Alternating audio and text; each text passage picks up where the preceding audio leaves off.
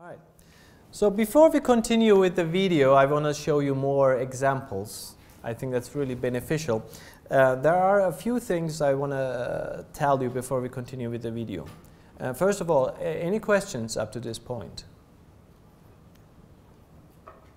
Okay. So I just want to briefly tell you a few things. One is, um, you know, we looked at uh, airplanes and we said if this is the back, you know, you have the, the vertical tail and then you have the horizontal tail, right? It looks like this. And then there was a case where we have seen in the videos where you have the T-tail, right? And I told you that, you know, structurally this point and this point is not easy because you have this huge structure that is sitting on top of the, of the, of the airplane. And these points here, they really have to be very strong.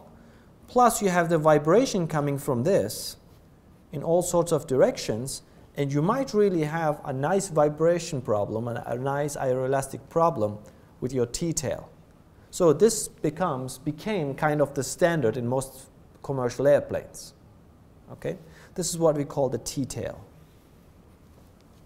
Okay? And then this is the conventional one with the vertical fin and the horizontal tail. Okay?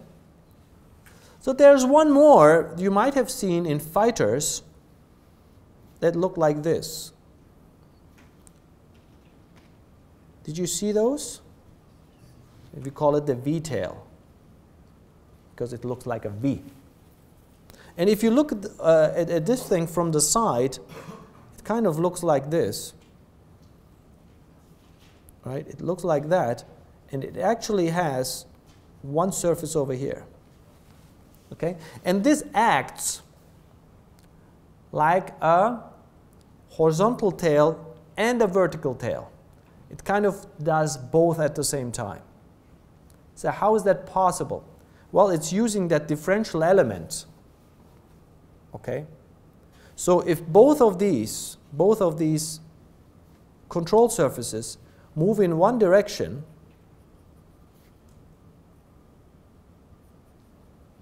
what do you get? You get a moment, you get a pitching moment as well as a yawing moment. Right? You see that? Let me make it a little bit more obvious. Let's say they are like this. Okay? And let's say I move both of them in this direction what do I get? Right? One is moving in one direction. You know, if you look from the side or from the, I don't know how to plot this the best. Um, if you have this, you get one force that looks like this, and you get another force that looks like this. So you have all sorts of moments. If you would move it like this,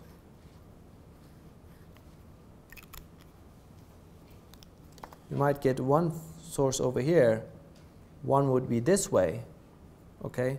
And if you look at these two components, these two would cancel, these two would cancel, but you would have a net force that goes up this way. You see? So it would be kind of a differential in order to act like a horizontal tail. And this would definitely give you a yawing moment, but it would also give you a roll. And you have to compensate this with your ailerons and do other things. So what I'm trying to say, if you have a V-tail, that will, that can be used both as a horizontal tail or as well as a vertical tail, but it will cancel forces in order to have a pure pitch up moment, for example. So canceling forces is not something we really like because it's a little bit inefficient. You're generating a force and then you're generating another force and you cancel them. Not good, right? So, and you have that little force here that will give you the pitch up moment. Which, might, which means you really need big V tails in order to have that pitch up moment. But imagine an airplane that in the pitching direction is not very stable. In other words, let's say the static margin is not big, the static margin is small. If the static margin is small, which means a little push will immediately make it pull, pull up, right? So you maybe not need that big of a moment at the back. So then my, you might want to have a V-tail and these little forces that allow you immediately to give a pitch up or a pitch down, even though you cancel a lot of those forces. Okay? So V-tail always looks good and cool, but you have to be careful because you are canceling forces in order to generate a pitch up or a pitch down or, or even a yawing moment. So canceling forces means that you need maybe double the size of a horizontal tail in order to achieve the same pitching moment, pitch up moment. But again, maybe you don't need a big pitch up moment because it is the, the, the, the, static margin is already very small and the little push already gives you a lot of moment. So these are all calculations that you have to make if you want to really have a vertical, uh, a V-tail like that. Okay? Another questions I, I, I sometimes get is there are airplanes that look like this, the delta wings. Have you seen them? I'm, I'm sure it's, it's a bad delta wing now. With a CG here in the front. And you have seen these delta wings. They don't really have a horizontal tail per se. Right? And they don't really have a, they sometimes have a vertical tail. They have a V tail, but not really a horizontal tail. So how do you get CM0 to be positive? Right? Because if you look at the, this wing, it is actually, a, uh, it looks more like an airfoil. So how do you do that? In order to get CM0 positive, what they do is they just twist. They just twist the whole wing. So if you look at this, this wing, this, this, the, the delta wing, sorry, the whole wing is twisted in such a way that CM0 is still positive, which means you have a positive pitch up moment when alpha is equal to 0. In order to get a positive pitch up moment when alpha is equal to 0, you really need more angle of attack here, less angle of attack here. So that's only possible if you take the wing and twist it. Okay? So the delta wing, it looks really straight, but it, it, it is twisted somehow that you still have CM0 positive if you want to have a stable uh, delta wing airplane. So you can do a lot of tricks, okay? Or you could have a, actually an unstable aircraft and have the, the, the, the, the horizontal tail at the back or the, the control surfaces work a lot to stabilize the system, which is in fact unstable. I mean, look at, you know, remember the, the pendulum? This is a stable equilibrium point and this is an unstable equilibrium point. It doesn't mean that I cannot hold it like this. If I'm fast enough here, I could, I could probably hold it. I'm just not fast enough, right? The inverted pendulum, I, I could hold it like this. So you could hold this, uh, this equilibrium point. It doesn't mean that it, you cannot stay here. The control can actually hold it. So it's the same thing with airplanes. If the airplane is unstable, it doesn't mean that you cannot fly it. The control can still hold it, and the autopilot usually does that if it's a really unstable airplane. There are a lot of airplanes that cannot be flown with human pilots only. You definitely need an autopilot that will stabilize it because the system is unstable. I mean, the equilibrium point is unstable.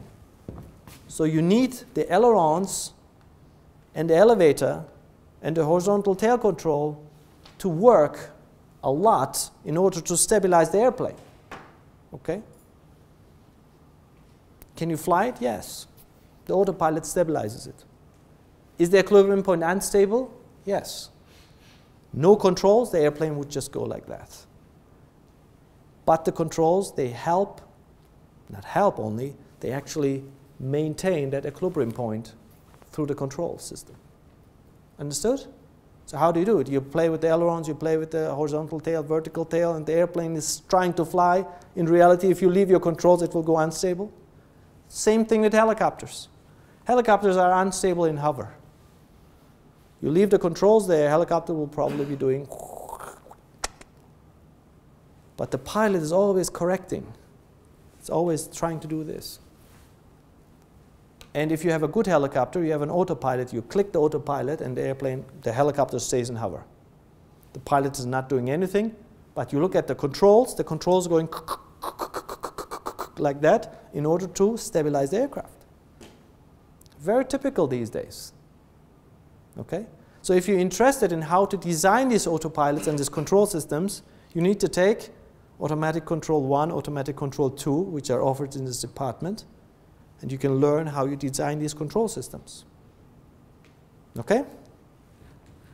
So, what else? Any questions? Okay. So, finally, I want to tell you one more thing. You know, uh, there, are a few things I wanted to tell you throughout the course, but I, uh, I kind of left it to the end because you need the whole picture. Uh, another thing I want to tell you is, for example, we talked about CM alpha, right? That is changing the moment because of alpha. What does that mean? It's, it's, it's, it's like the more alpha I have, the more moment I have. You know, that kind of relationship. Or we talked about CL uh, beta. The more beta I have, the more moment I have, right? That's, that's relationship. This one here is more like a stiffness now. So it's almost like this. Let's say you have an airplane. Let's talk about CM alpha, right? CM alpha is this is alpha. The more alpha you have, the more moment you will have. The more alpha you have, the more alpha you have, the bigger moment you have. It's almost like a spring action. It almost looks like this, isn't it? Like this, like almost there is a spring attached, and the bigger that alpha, the bigger the moment. Isn't it? The bigger the spring, the bigger the force. So this is what we call a stiffness.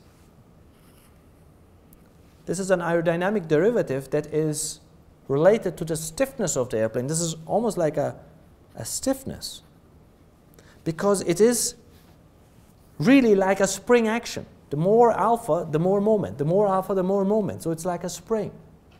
You see? It's like a spring. You know, we have this thing, mass, and then you have a spring constant k. The bigger the, the x, the bigger the force, right? And that's a function of k. k is the stiffness. It's about the same thing. The more the alpha, the more the moment. So it's kind of the stiffness of the system. Now, what about CMQ, for example? Now, that's an interesting one. CMQ. CMQ is the moment that you are getting because of Q. Q is what? Angular rate. Yeah? Q is pitching, pitch rate the angular velocity. So the moment because of q. That means if q is equal to 0, there's no q, I mean, there's, if there's no pitch rate, then moment is equal to 0, right? But there's a moment because of alpha, of course, because of the stiffness. So this moment is because of the pitch rate, because of the angular velocity. So the more angular velocity, the more pitch rate.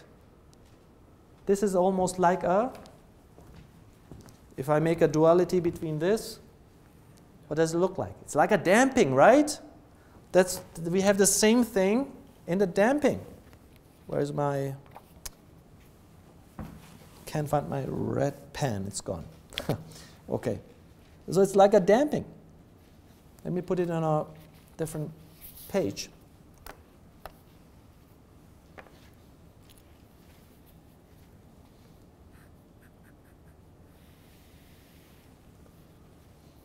Remember this? Mass. Then you have a damper. Usually called with a C. In this distance we call X. And C is only active when there's an X dot. Remember? C is a damper. So if this thing moves, it is kind of absorbing the energy, and that's kind of the damping. Very similar thing. Think of an airplane.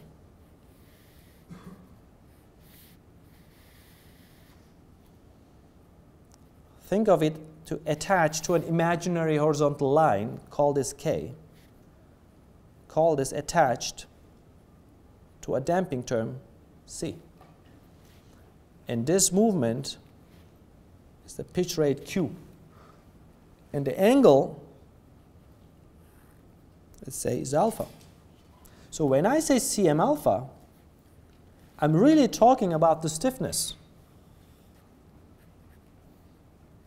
When I talk about CMQ, I call about, I'm talking about damping.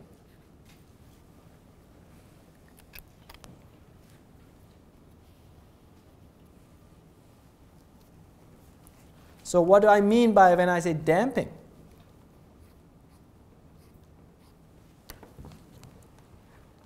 I mean, when I have this angular velocity, how much moment do I get? It's very similar to this. If I have a velocity x dot, how much force does this damper produce?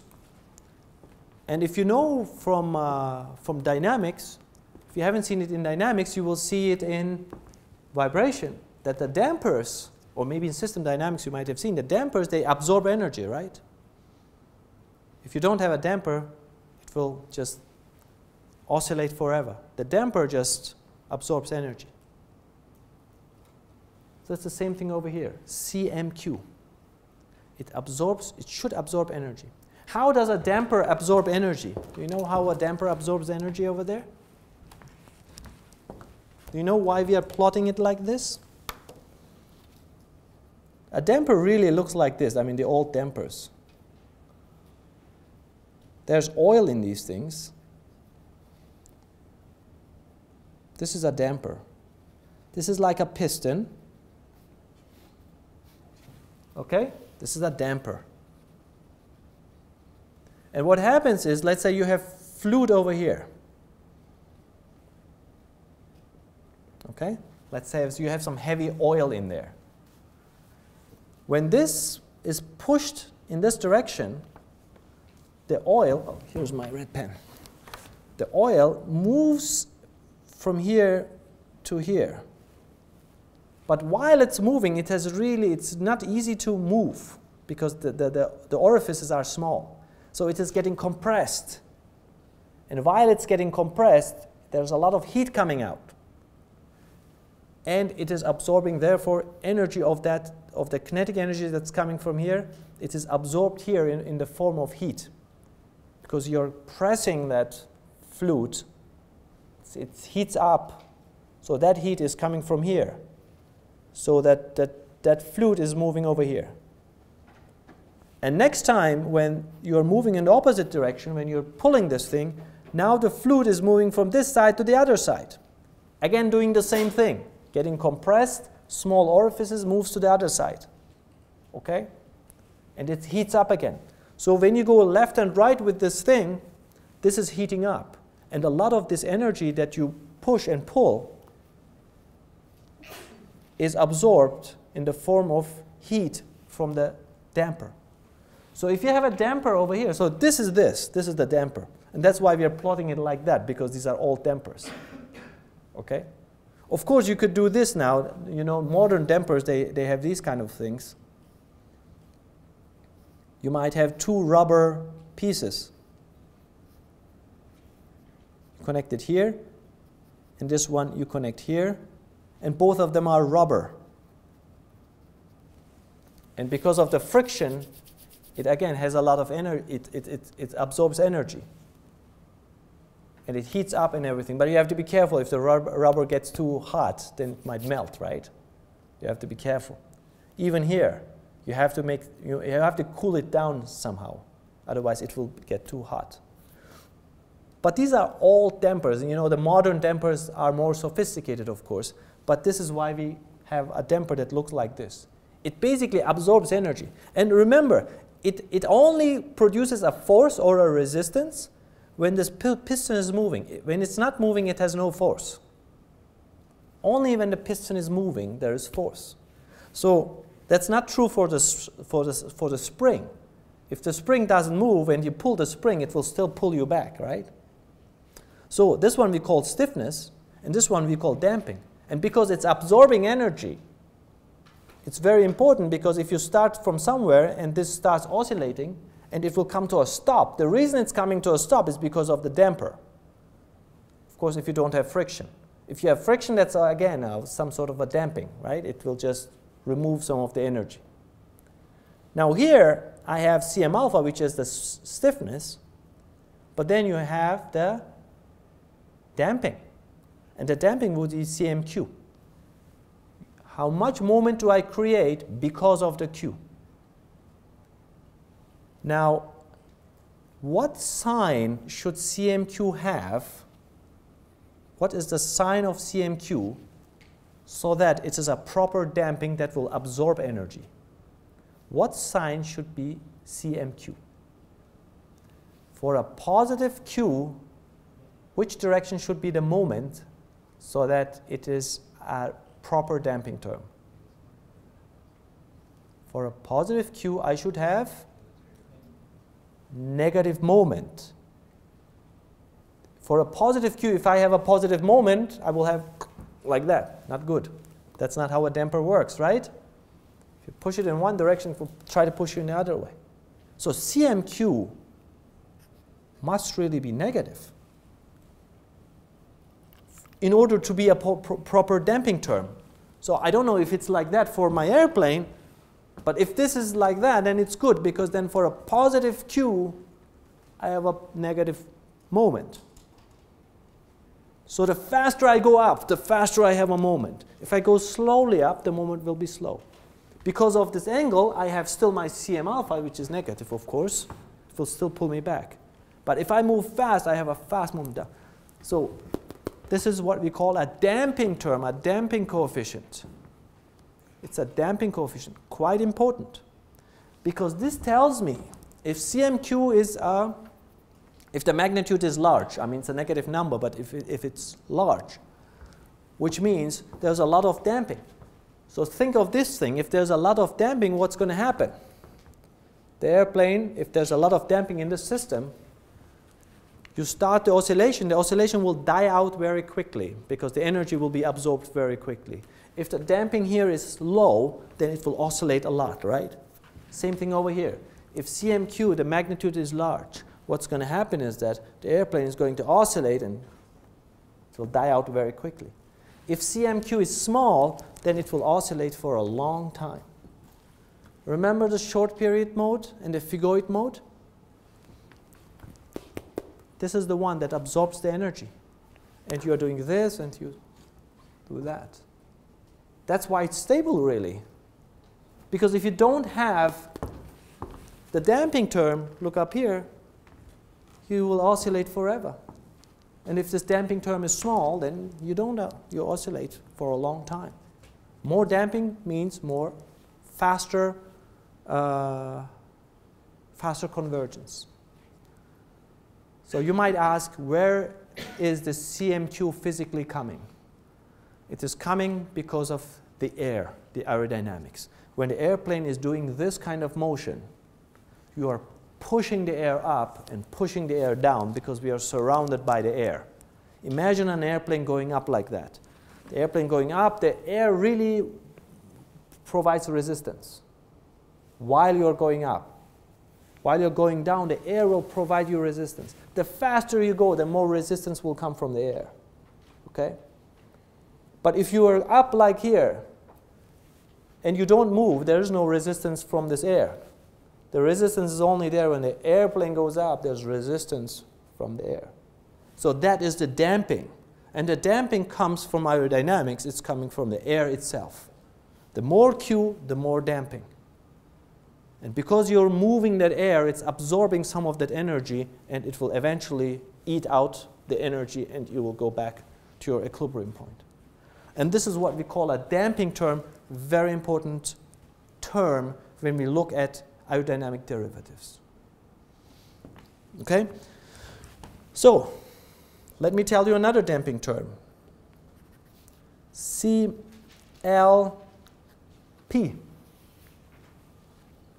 Roll damping. And this one would be a pitch damping.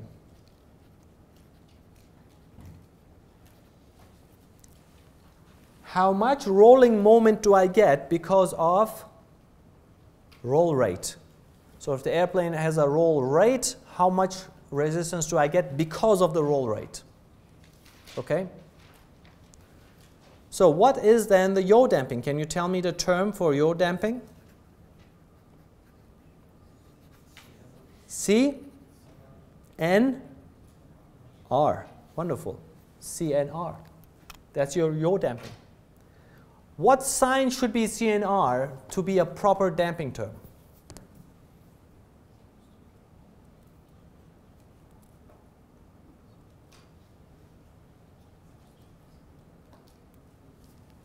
What sign should be CNR so that it's a proper damping term that's good for us? Positive or negative?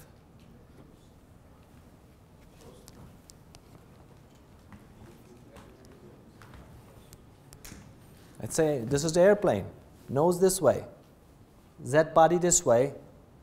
This is a positive R. So for a positive R, I need a negative n. For a negative r, this way, I need a positive n. Because of that r, I need a positive, a negative one. For a negative, I need a positive. Therefore, it should be negative.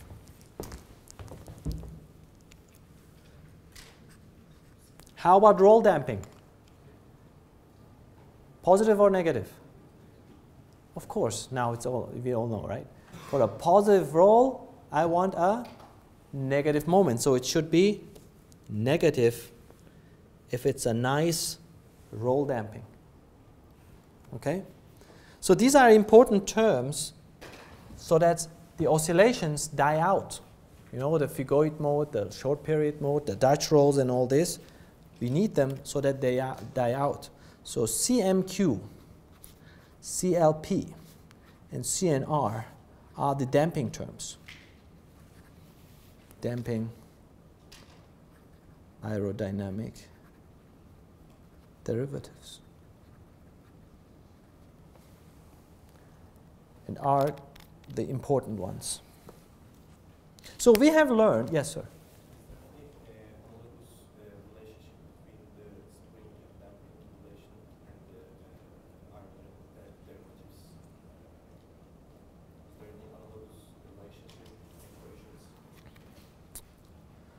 Um, if, are, if these are linear, and that is sometimes not linear, right? I mean, the, the spring coefficient is not linear. It's k x square. Right? So it's not linear. If this relation is nonlinear, then the relationships will not be equal.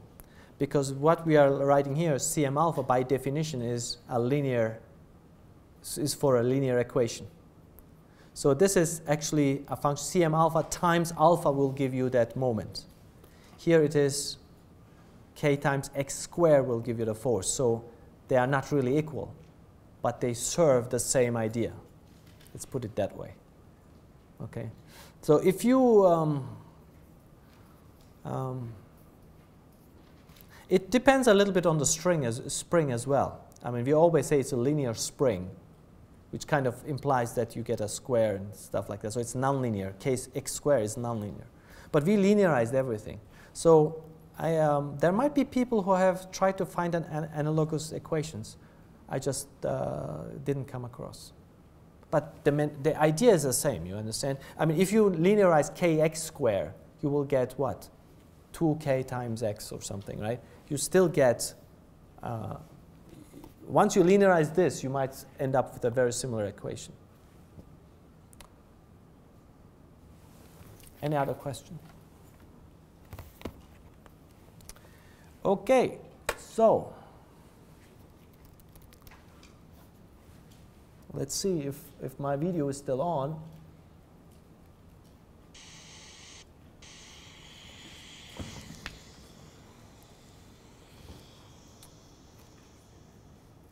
Okay, that's a beautiful picture. It's a beautiful picture. You see a little bit of dihedral, you see? Perfect. Wing is getting perfect clean air. Engines, perfect clean air. Look at the horizontal tail. Perfect clean air. Because the wings are moving the air downwards and this is moving downwards, very clean. Look at the horizontal tail, the vertical tail, very clean. And structurally, wonderful. This is connected to this, this is connected here. These are not on top of this, no oscillations, perfect. Huge wings, two engines, uh, four engines, and landing gears, perfect configuration. You see?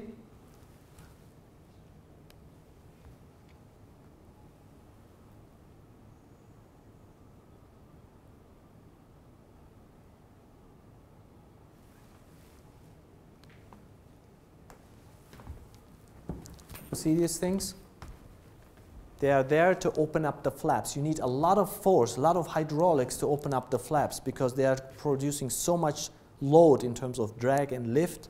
So you need these strong hydraulics.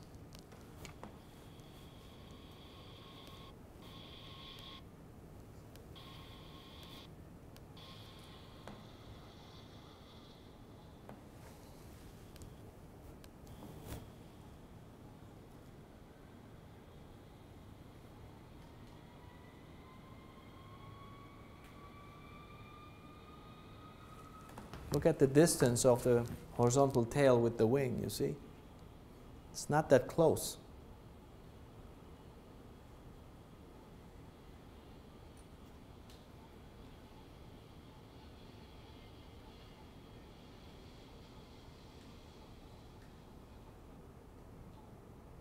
Look at the distance. Pushing down the air, and you have still clean air coming from the, from, from the horizontal tail to the horizontal tail.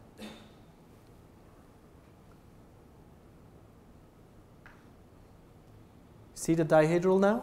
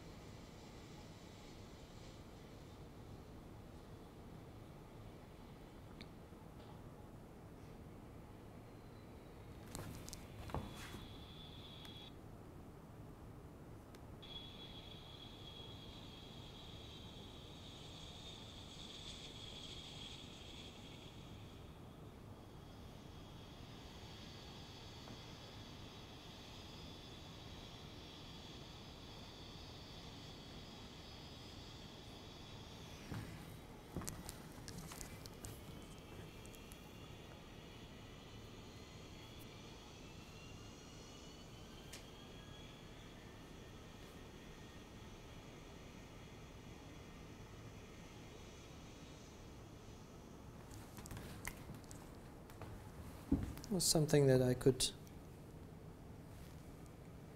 Sorry.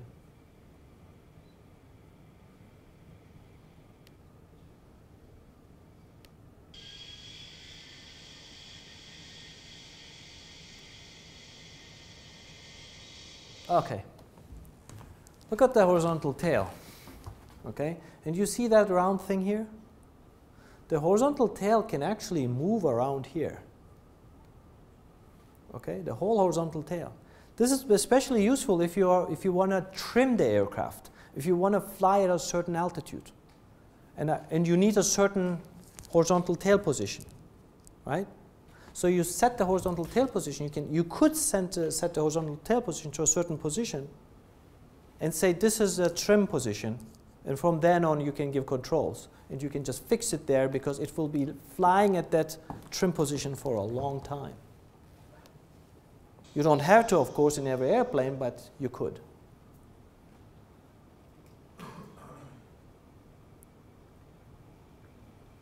There was a good question. Uh, someone asked me during the break. Uh, maybe that's I have to clarify that too. When airplane flies forward, the question is why not just use the vertical tail control to move your nose and make a turn. Well, moving your nose doesn't mean you make a turn. Moving your nose will, might just mean that you get more side slip, right? With the vertical tail. In order to make that turn, you need a lot of centrifugal for, uh, centripetal force to make that turn. So who's going to provide the centripetal force? Because if I pull on the airplane, then it will turn. If I don't pull on the airplane, it will just go straight. I have to pull on it. If I leave it, it will go straight. I have to pull on it. I always have to pull on it. So who's going to pull on the airplane? When I rotate my nose, there's no force that will pull me. I just rotate my nose and I start flying with a side slip. The biggest force that's out there that I can control is the lift force. So if I tilt the lift force, there will be a component of the lift force that will keep pulling me to the side. Right? So it's not enough to just rotate my nose. I just get side slip from that.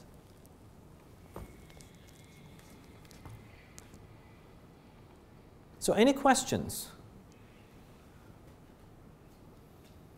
So next time you look at airplanes on an airport or on a TV or something, you, I hope you will look at it with a different eye. Okay? And if you see some exotic airplanes, you can immediately say, okay, where is the moment coming from? How does it establish stability?